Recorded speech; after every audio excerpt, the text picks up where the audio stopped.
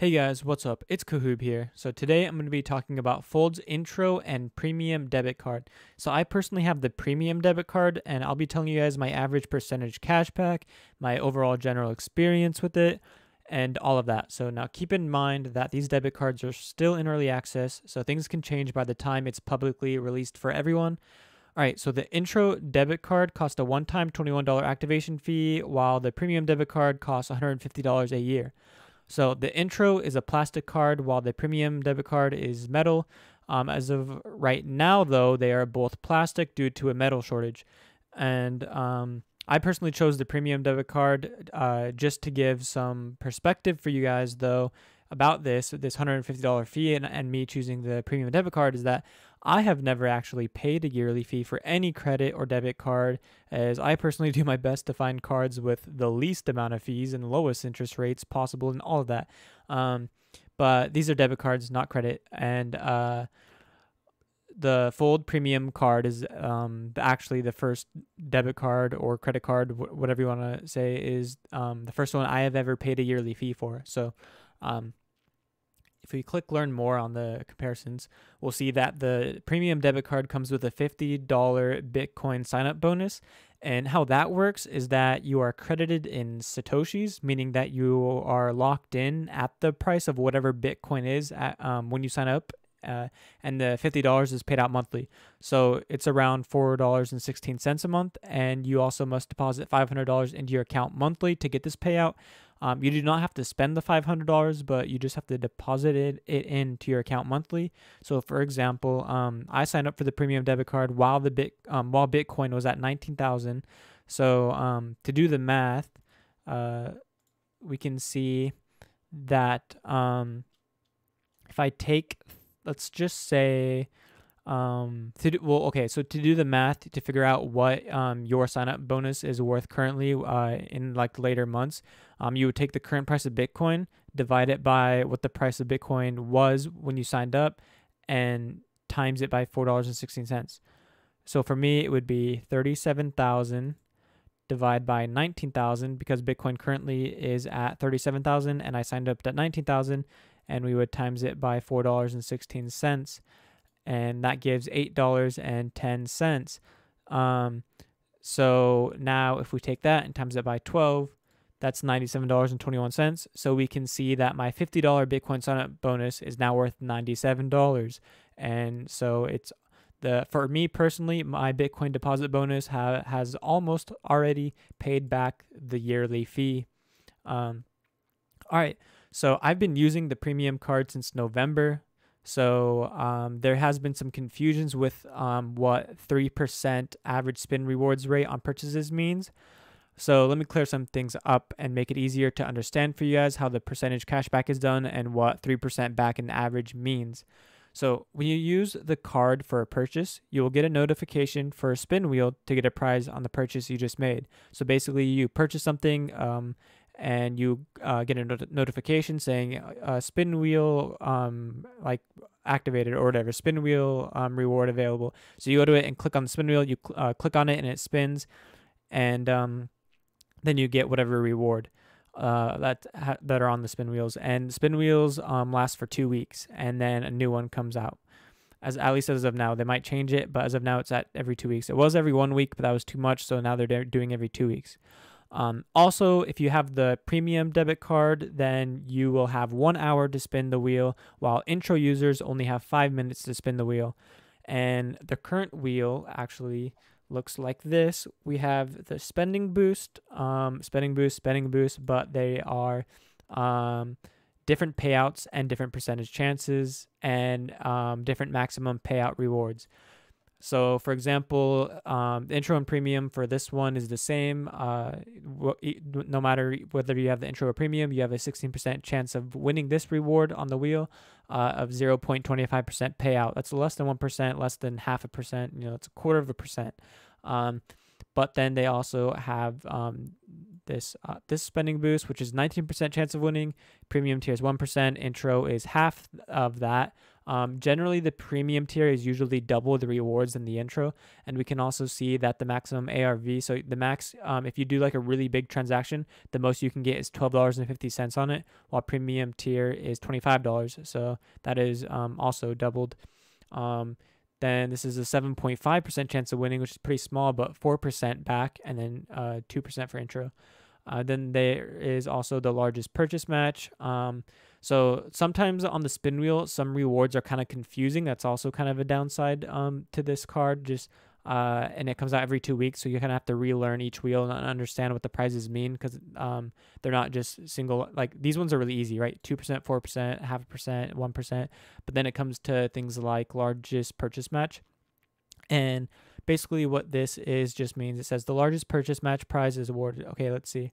So it is multiplied by the USD amount of the largest Fold debit card purchase in the prior 72 hours. So if you made if your largest purchase in the last 72 hours was $100, it'd be 100 times 25 and that's paid out in satoshis, but um, the maximum satoshis you can earn on this is 25,000 sats. Uh, they also have the fold gift card boost. A lot of people don't really like this one, so they might be getting rid of it. But it's basically if you uh, isn't this a really high percent chance of winning too? It's 17.49% chance of winning. Uh, you can get 2% back extra on a fold gift card. So you don't actually get any sats back on the purchase you just made, but you get an extra 2% on the next fold gift card you buy um, within the next like 20 or 24 hours. Um, and then there's a referral match, which uh, you have a 17.50% chance of winning. It's 100 um, Satoshis for a premium. And then that's times it by a maximum of 20 referrals. So if you get 20 referrals, you can earn up to 2,000 Satoshis if you land on referrals match. Um, and then deposit match, a lot of people like uh, is um, it would be a chance of winning is 5%, but basically it is that um, in the past 30 days, if you loaded up 5,000 in deposits, then um, it would be 5,000 times 4, which is 20,000 Satoshis. So if you land on this, you can get paid out 20,000 Satoshis. Um, although the chance of winning is pretty low, but the payout's really, really good. Um, and then there's also the one Bitcoin bonus. So 0.01% chance of winning. So basically a 1 in 10,000 chance of winning. And also it's only one Bitcoin per promotion period. So every two weeks, only one person can win the Bitcoin. Um, and also, one thing I want to mention is that, uh, as you can see, um, basically all of these rewards are kind of just at random, and you can't really. I mean, the ones you can take advantage of to maximize your Satoshis earned, for example, is largest purchase match. Make sure you have a really large transaction in the last 72 hours. So if you land on this one, you get paid out, you know, 25,000 Satoshis. Another thing is referrals match. Make sure you refer 20 people to get as much Satoshis as possible. Deposit match. Make sure you deposit $5,000 every month to make sure you can get paid out the 20,000 Satoshis. And then, yeah, so those are kind of in your, um, in basically you can adjust how many the basically the rewards you earn you can adjust you can change yourself um, you're in control of how many sats you earn on those three um, all right now that I've talked about that, um, I'm gonna be um, telling you guys um, basically what the three percent back average um, means. So the three percent back average does not mean that you personally will average three percent. It means that using the premium card will average three percent altogether. So what that means is that some people may average 6% back while others may average 1% back or less and when you add up every person's average altogether, then the average fold card holder holder will um, receive 3% back. So here is what the terms and conditions say um, about the percentage back part. So um, it says that the average rewards rate is calculated at the beginning of each sweepstakes period by dividing the expected value uh, of earnable rewards on qualifying purchases by all cardholders by the expected value of qualifying purchases by all card call ah by all cardholders. Um, the actual reward rates you may earn may vary from the average rewards rate listed. Your actual rewards will vary depending on several factors, including events you are in control of, such as the frequency with which you spin the wheel, events outside of your control, as such as what rewards you win, and how much your actions align with a prize when you won, such as the amount of your deposits if you win the 2x deposit bonus, and in um, events outside of your control, such as the price of Bitcoin at the time the reward is won. So um, basically, it is just saying that. Oh, and by the way, all qualifying purchases that includes gift card purchases. So to um, get the three percent closer to the three percent average rewards, um, you have to be buying gift cards as we can see that Fold Plus member pricing um, boost on Amazon gift cards. Uh, if you guys get the intro or premium debit card and you buy a gift card through Fold with their debit card, you actually get a higher percentage compared to using any other card. Um, so that is included in the 3% average. This includes buying gift cards in the app, not just single, just not, not only off the spin wheels. Um, all right. So I calculated all the transactions I could see in my history page and only counted the Satoshis earned from spins. And also, I didn't include any transactions that had holiday wheels uh, spin rewards on it either, as the holiday rewards were paying out really high for early access users. So I'm keeping it only to spin rewards that are more likely to show up on the wheel again for normal wheels.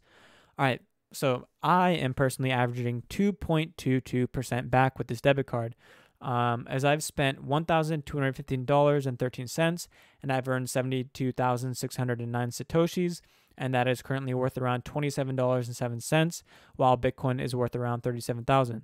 So some of these rewards were paid to me back when Bitcoin was 15 to 20,000. So my average percent back is also a bit skewed due to Bitcoin going up in price since November, December area. So technically I may be averaging a bit less than 2.22%, but um, moving on, I want to discuss the things that I like and dislike with the card now. And you guys can go in and look at all these details. And um, another thing is, as of right now, premium members get 10% um, annual high yield on rewards. Um, and intro gets 2%. They actually may be removing the rewards, the annual high yield and rewards. I'm not too sure though, um, as it's still in early access. So we'll see what stays and what goes. All right. So, one thing that I like is that the Fold team is um, very active and involved and listens to feedback and suggestions with early access users. And the CEO of Fold, um, Will Reeves, is literally talking to early access users in their Discord, which is a very unique user or unique experience. Um, I've even talked to him and everything, and you know, discussed the card and rewards and things about like what could be changed and stuff. And it's, it's really cool. Um, Although, once this rolls out to the public, then this may be harder to do, but at least it shows how serious the Fold team is at wanting to perfect this card as much as possible in the early stages. And another thing is, um, another thing that I like is that it is paid out directly in Bitcoin, and also that you can win win one Bitcoin from a spin with a 0.01% chance, so a one in 10,000 chance. Um, sometimes I like using my Fold debit card over my other crypto debit cards, even though I know I'll most likely get a higher percentage on the other ones, um, as those are flat rates and Fold is um, variable rewards. And uh, sometimes I like using the Fold over those simply because of being able to win one whole Bitcoin. Um, while I know the other ones, yeah, I might get 5% back every time, but it's like, well, it doesn't give me a chance to win one full Bitcoin, right? Um, but sometimes it's not worth it. Uh, sometimes I'm like, you know what, I'm most likely not going to win one Bitcoin on this purchase of like, you know, $1,000. So might as well get 5% back so I don't accidentally screw myself over. Um, which uh, I'll be discussing how that could happen in, in a sense uh, a little bit later. So, uh, all right. So now on to my dislikes. So it would probably be uh, my average percent back for purchases being at only 2.22%. Uh, as I have other cards that pay like um, 4 to 5% uh, in my crypto debit cards. Um, and another thing uh, that I dislike is that you have to go and read the new spin wheel terms and figure out how to get the most for your money to maximize your rewards. It's kind of like playing a game every two weeks. And um, for me, though, I personally have the time to do this and I actually enjoy doing it. But I say it as a dislike because for mass adoption, um, people do not have the time to worry about what's on the new wheel and things like that to prevent themselves from getting screwed over as um, you know adults have pretty busy lives, so they don't have the time for that. Um, and which brings me into variable rewards. So one thing that can be, and this isn't a dislike or like, but one thing that can be viewed as a pro or con is the var- variable rewards, as someone could technically um, only buy something for five dollars and win eight dollars in Bitcoin, or someone could buy an item worth over two thousand dollars and get zero point twenty five percent back. So some people pr- prefer flat rates as variable rewards can be very annoying and usually bad experiences always outweigh the positive when it comes to remembering these things. Um, I feel like people are less likely to remember paying $5 and winning $8 compared to paying $2,000 and getting like $1 back or something like that. Um, so um, another thing is that people may see this as a childish gimmick of gambling, as the rewards for the most part are out of your control, but others may enjoy the gamble part to it as a fun, entertaining, interactive debit card. Um, I personally like gambling and things like that, so I actually like um, the variable rewards. Um, and another thing that can be seen as a pro or con is that there's no coin lockups. So some may find that as a negative, some people might, but some people um, may find as a positive.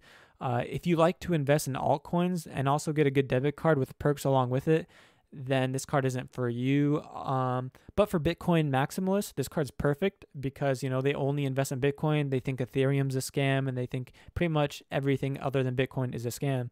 So, um, with that being said, they would prefer this Fold Premium debit card. It's perfect for them. But if you like altcoins and other cryptocurrencies and stuff like that, you may prefer um, either Swipes debit card or Crypto.coms, which I will be um, in another video talking about uh, Swipes debit cards as well. So, overall, what is my opinion on the Fold debit card? So, I personally like it. I like the vari- variable rewards. I like the spins. Um, I like that it changes every two weeks and stuff. Um, I mean, you can also get 5% up to $500 a month on Amazon, so that's really good. Uh, you can win one Bitcoin. You know, I really like that. Um, annual fees not too much, especially with the $50 Bitcoin sign up bonus and how that works. Um, and uh, yeah, I mean, do if I were to compare it, um, well, I already have the icy white debit card, so I would rather use that for larger larger purchases. But for smaller purchases, I would use the Fold Premium debit card. Um, although sometimes the Fold Premium debit card can work better if you only do large transactions. So it really depends on what the spin wheel rewards look like at the time. Um, personally, um, I would rather not risk doing like over one thousand dollar transactions, or maybe even over two hundred to five hundred dollar transactions on the premium debit card. Um, when you have literally like as you can see, you have a chance to get zero point twenty five percent back. So at that point, I would use my icy white debit card. And so yeah, all right.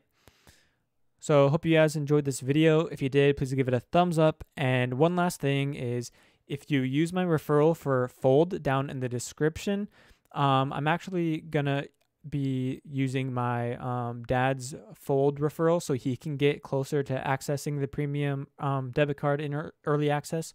Uh, as I already have 20 referrals and that's pretty good. I don't really need more, um, especially since they uh, made the max amount, uh, a maximum of 20 referrals. So I feel like they're always going to cap it at, at least to around there.